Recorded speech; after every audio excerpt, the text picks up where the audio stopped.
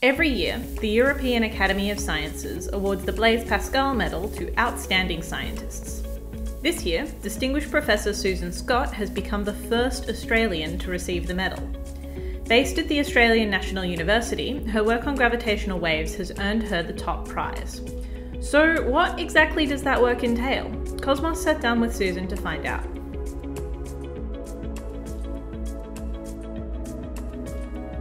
Susan, congratulations on the Blaise Pascal Medal. Thank you very much. It's very exciting. For those of us who've just tuned in, what are gravitational waves? Now, that's a very interesting question because they're a different type of wave to the ones we're used to. So, throughout humans' existence, we've been using electromagnetic waves to observe things light, radio waves, X rays, and so on. So, it's a new type of wave in a new spectrum. And they are a direct prediction of Einstein's theory of general relativity.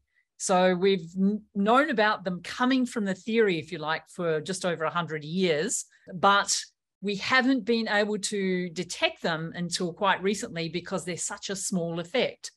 And what they are are very tiny ripples in the fabric of space time.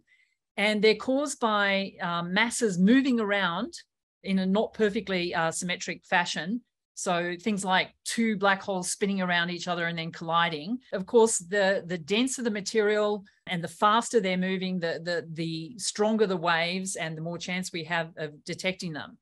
And I guess the other thing you should know about them is that also coming from the theory, they're predicted to move outwards from the source at the speed of light.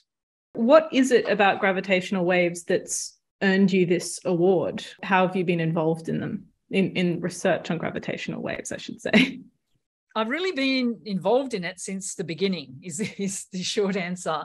I my background is I'm a general relativity theorist. So I also do research in, in gravity theory generally, things to do like singularities of space-time, such as we find in the heart of black holes or at the start of the universe and uh, work related to that. I'd been in Oxford for four years working with Roger Penrose on, on that sort of work, and I came back to Australia to, to take up a postdoc at the ANU. And I saw at that time, this is about 98, that we had a, a couple of groups working in Australia at ANU and Perth, um, dealing with the experimental side of the project. So developing aspects of components of the gravitational wave detectors, which were just about you know being built at that time literally. But we had no effort in australia in the gravitational wave science side of the project which is you know what we expect to get out of observing gravitational waves coming from cataclysmic events in space.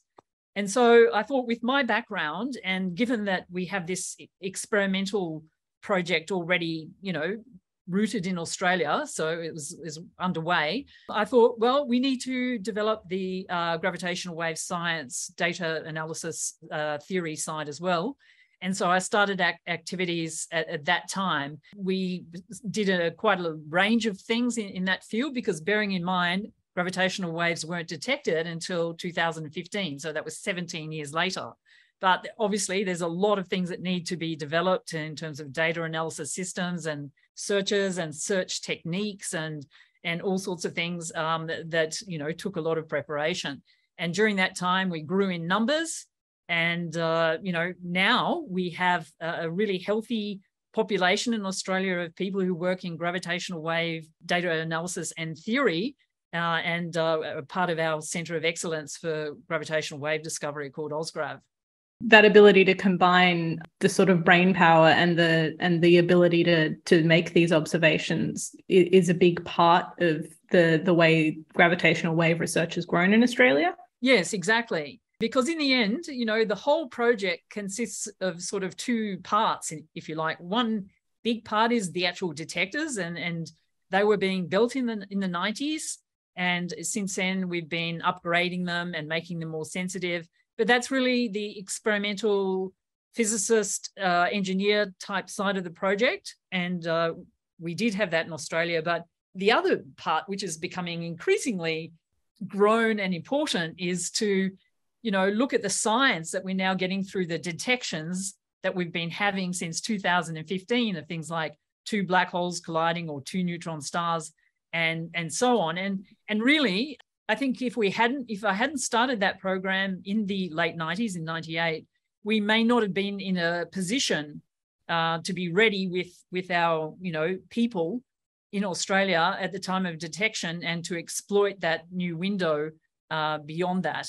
And thankfully, we are, and Australia plays a quite a, a leading role in in that side of the project as well. So, following that detection seven years ago, there's been a lot more gravitational wave detections. There have. We've now achieved, uh, uh, I think, just over 90 detections, and, and they've all been mostly binary black holes, but that tells us a lot about those systems. The more we get, the more we know about the, the lives, lives, are really deaths of, of uh, black holes throughout the universe, for instance, um, their sizes, ideas about how and where they get together, how fast they're spinning. You know, do they form in isolated environments or, you know, in really dense systems in the center of galaxies or whatever? So, a lot about those. But we've also had a couple of uh, binary neutron star collisions, and, and they're fantastic because one of the big things we're going after now are, is the question what are neutron stars? What are they made of? You know, what sort of material do they consist of? They're, they're a really big enigma to us. They're the densest type of star in the universe. You know, black holes are denser, but they're not really a star anymore. They're a sort of geometric object. Neutron stars are about the size of Canberra. So they're not very big, but they pack a lot of mass into that size. So they're they're the densest type of material that we know of in the universe. And we cannot reproduce that here on Earth in laboratories. So we look to observing gravitational waves from neutron stars, which we haven't done yet from a single neutron star to try to unlock the incredible mysteries associated with those objects. I guess back on Earth a little bit. Um, you're the first Australian recipient of this medal. Is it important to you that, as a woman in science, you've managed to get this very prestigious award? I think it's really important, actually. Um, I suppose throughout my career, and obviously for a long time before that, it was always the case that you know if something like that would happen you know some uh, award or recognition in science it, it nearly always would be a man who was first. It is a you know it is a refreshing it's encouraging um, that that's not always the case anymore that you know in a case where no australian has achieved something in, in science that the the first person may be a woman and I think that is a real breakthrough because, you know, for most of my career, that was not the case. And it's really only been quite recently that, you know, we've seen that change to some extent. Where do you think the barriers for female physicists are? Well, I think there are barriers right throughout the whole process of, you know, becoming a scientist and having a, a scientific career and uh, and so on. But to me, I mean, I lecture in the second semester of third year teaching general relativity, and that's mm-hmm. the, the final semester for many uh, students. And by the time they get to me, uh, the start of that semester, there's virtually no women uh, in the class, you know, a couple maybe. And, and so I feel that the, the problem starts really way down the line, e.g., at uh, primary school. We know that um, girls can become very disenchanted and disinterested in the way science is taught there. I've been involved in recent years with a very exciting project called Einstein First, uh, which aims to roll out totally new um, techniques of teaching modern physics to primary and secondary school students throughout Australia and beyond by using different um, methods, e.g., role playing, playing with things, uh, toys and things that they're already familiar with and enjoy, and bringing out scientific concepts in those ways and songs and all sorts of things.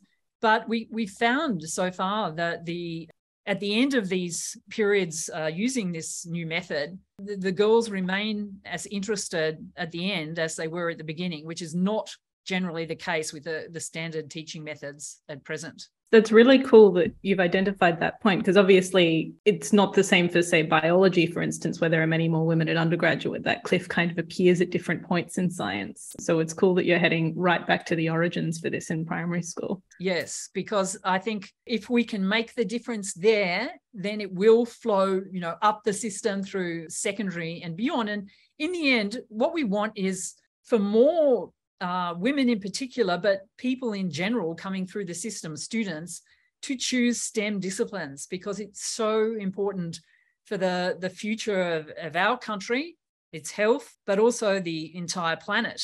We, we need great minds coming through and working in all these scientific areas to really ensure, you know, the future.